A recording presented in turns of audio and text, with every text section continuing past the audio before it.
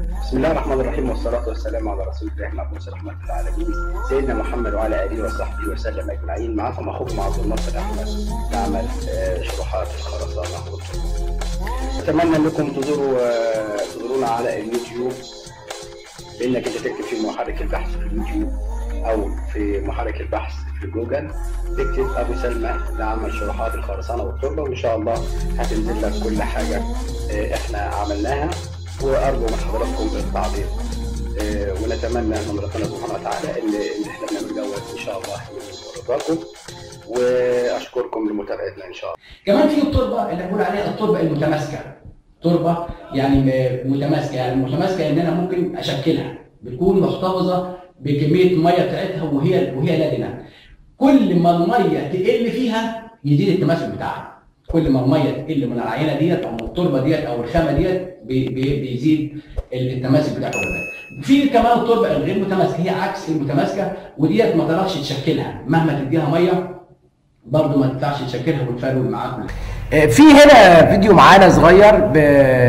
هنبين فيه أو نعرف فيه آه، أنواع التربة اللي إحنا اتكلمنا عليها آه، في المقدمة دلوقتي إحنا قلنا في تربة بتبدأ يعني بأحجام كبيرة تكون بتزيد أكتر من 20 سم لغاية التربة اللي إحنا آه، يمكن ما بنشوفهاش.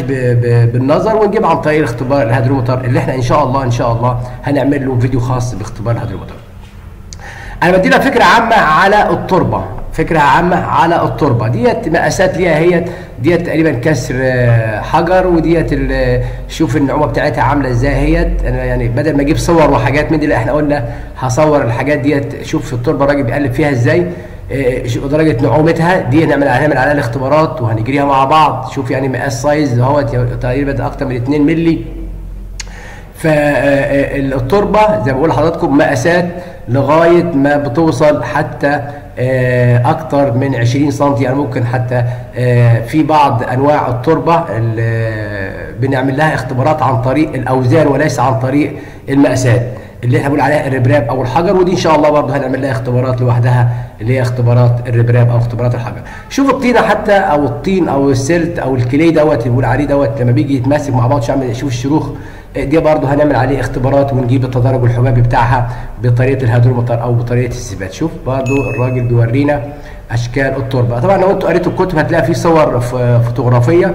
بس أنا حبيت آه، يعني أخليك تعيش الجو بتاع التربة نفسها عاملة إزاي اللي هي جاية من الطبيعة. آه، بيقول عليها باللغة بتاعتنا جاية بعبلها ودي تربة متماسكة هي شوف شكلها عامل إزاي. لما اضاف عليها مية شوف بص يعني التماسك بتاعها إزاي. نقدر نجيب المنشر بتاعها ونقدر نجيب الامتصاص ونقدر نجيب الوزن النوعي ونقدر نجيب الوزن الحجم بتاعها كمان. كل دوت إن شاء الله هنعمله اختبارات مستقلة لكن إحنا قلنا إن الحلقة دي هتكون خاصة إن إحنا بنتكلم على التربة في حد ذاتها. إيه هي التربة؟ إحنا بنعرف الناس برضه شكل من أشكال التربة أهوت برضه آه، بنشوفه مع بعض. أهو شوف أدي مقاس اهو ده تقريبا ده يمكن ايمن حوالي 4 سم تقريبا أو 5 سم يعني هيبدأ من مفر 37 ونص. أنت لو فصلت كمية التربة اللي مع الراجل ديت هتلاقيها وصلت لغاية آه، point O 75 وما هو بعد point O 75 اللي إحنا هنعمله إن شاء الله في ال gradation بتاعه. يعني أقصد لحضرتك التربة لما تجي لك المعمل هتلاقيها بأشكال مختلفة هتلاقيها بأشكال مختلفة. يا إما ناعمة آه، يا إما خشنة يا إما متوسطة الخشونة. وإحنا قلنا ال- التربة الخشنة ديت في منها اللي هو أحجام كبيرة وفي متوسطة وفي ناع- ناعم. وبرده التربة اللي هي الناعمة في منها خشنة وفي ناعمه ناعمة وفي متوسطة وهكذا بالنسبة لأنواع التربة كلها. أنا برضو حب يعني الحاجات دي على فكرة في صور صورناها في المحاجر. شوف يعني بص شوف التربه ناعمه إزاي وفيها حجر قد إيه. كل ده برضو هتعمل له تدرج حبيبي. وهنطلع منه مع بعض السي سي والسي يو يعني هنطلع معامل التدرج هنطلع كل حاجة ان شاء الله. بالمناسبة برضو إحنا معانا الكود اللي إحنا بنتكلم من خلاله هو الكود البريطاني أو الكود الأمريكي ال ASTM D 2487 ده بيتكلم عن الكلاسيفيكيشن أو على التصنيف بتاع التربة كلها في حد ذاتها. وإحنا لو فتحنا المواصفه من جوه آه هنلاقي إزاي هو آه مقسم التربة لشرائح أو مقسمها لأقسام.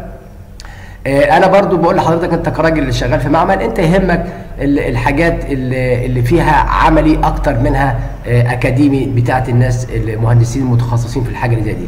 هنفتح المصفى من جوه ونشوف آه، إيه الحاجات اللي تهمنا إحنا كناس فنيين. آه، كود من جوه هتلاقي فيه مكتوب هنا في في مكتوب ال- اللي هو ال reference document اللي هو ال ال ال الأكواد اللي هو اتكلم من خلالها أو جمعها كلها في المواصفة اللي إحنا بنتكلم من خلالها دي.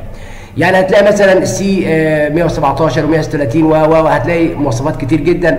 ديت اللي إحنا إن شاء الله إن شاء الله هنعملها في اختبارات لوحدها منفصلة. آه، هنا في جدول الراجل آه، آه، ظهروا في المواصفة في تمام في الصفحة تقريبا الثالثه بي- بيقسم ال- ال- التربة لأقسام. إمتى هنقول عليها انها coarse أو نقول عليها لو كان خشن إمتى نكون نقول عليها اللي هي ال- ال fine؟ لو هو اشتغل على نظام المناخل اللي هو هو هنا معتمد على ال pass والمحجوز من ال- المنخل اللي إحنا برضه هنعمله اختبار لوحده. برضه في table تاني الراجل ظهر اهوت آه، برضه بيتكلم ان إحنا هن- هنصنف التربة من خلال آه، اختبار اللي هو حد السيولة وحد اللدونة اللي هو برضه آه دي الجدول اهوت آه، إنك أنت هتسمي التربه إزاي وتقدر أنا كنت بقول في المقدمة في ناس فنيين ما شاء الله أحسن مننا بكتير جدا بيقدر آه، يحكم على التربه عن طريق النظر أو حتى لدرجة إن هو ممكن يشم التربه ويقدر يدي مسمى ليها يعني ون- ونتمنى إن إحنا نوصل لل- للمكانة ديت. دوت هتلاقيه جدول بيتكلم على لما نيجي نعمل liquid plastic هتطلع منه إزاي آه، من خلال ال curve وده برضه هنعمل له حلقة بالتفصيل عشان نقدر نستوعب ال- الاختبار مع بعض. ده مجرد توصيف لشكل التربة اللي إحنا هتجيلنا من الموقع. طيب لو أنا رحت هناك العينات دي هتجيلي حاجة من الاثنين لما أجي أجيب العينات من الموقع أو الناس بتجيب العينات بتجيب حاجة من الاثنين يا إما عينة تيجي من الحفرة يا إما عينة تيجي ع- عن طريق أسطوانة بيقول عليها الجسه يعني في ناس بيقول عليها الجسات طلع طلع ماسكة نفسها. طيب التربة ديت لما أنا جبتها من الموقع وكل حاجة لا أنا لسه ما طلعش الموقع. أنا لسه ما طلعش الموقع. الفترة اللي هي ما بين اخذ عليها الموقع لغاية وصولها للمعمل عشان اجري عليها الاختبارات هتتعرض لظروف جوية ممكن يكون سبب من الأسباب إن هي بتخلي الميه اللي فيها تهرب ولا الميه اللي جواها ديت مهمة بالنسبة لي. عشان كده لازم حفظ العينة. طبعا العينة لازم إن أنا أحطها في كيس بلاستيك مقفول جامد جدا ويفضل كمان إن العينات ديت إن إحنا نشحمها بالشمع اللي هو الشمع السايب وده موجود في أي مكان. بتغمر فيها العينة أكتر من مرة لغاية ما تكون طبقة من الشمع عليها في حدود يعني ملي ونص عشان تمنع أي هروب حبيبات أي هروب مية من جوه جسم ال- العينة. بعد كده تحطها في في في أكياس بلاستيك وتبتدي تنقلها من الموقع بتاعك لغاية المعمل وتشوف هيتم عليها إيه. الأفضل إن تتم الاختبارات فوريه. طالما ال- المشروع محتاج الاختبارات ضروري جدا يبقى تعمل اختبارات فورية في وجود الراجل المسؤول معاه وتشوف إيه المطلوب من الاختبار بتاعك. لكن في امور بتحكم ان الاختبار العينات دي بتتخزن لغاية ميعاد اختبارها. عشان كده لازم الحفظ بتاع العينة يتم بطريقة سليمة علشان ما يديكاش نتائج مختلفة جدا ويجي زميل تاني يعمل اختبارات على أي عين تربه يديك نتائج مختلفة يبقى كده بيؤكد إن أنت عملت الاختبار غلط بسبب سوء التخزين. عشان كده لازم أخزن العينات في مكان آه، مقفول ما فيهوش أي ما فيهوش أي آه، حرارة بالإضافة إن المكان دوت يكون الرطوبة بتاعته 100% طبعا الرطوبة 100% بحكم ان أنا بكيس فهي بتحتفظ كده في درجة حرارة آه، في درجة رطوبة 100% لغاية ما يجي الميعاد المناسب اللي أنا هعمل فيه الاختبار وأشوف هو مطلوب منها إيه.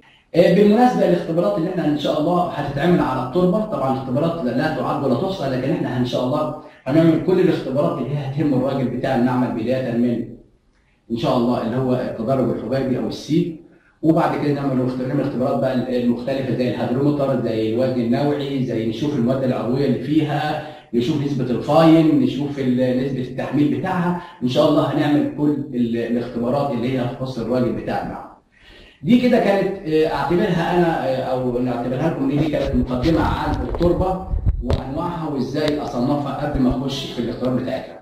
آه، وبكده أتمنى إن أنا أكون وفقت وأشكركم والسلام عليكم ورحمة الله وبركاته. وأشكركم لحسن متابعتكم وكان معكم أخوكم عبد الناصر أحمد بربري لعمل شروحات الخرسانه والتربه وأتمنى أن أكون وفقت وأرجو منكم التعليق. ما تنسوش متابعتنا على اليوتيوب وعلى صفحتنا في الفيسبوك والسلام عليكم ورحمة الله وبركاته.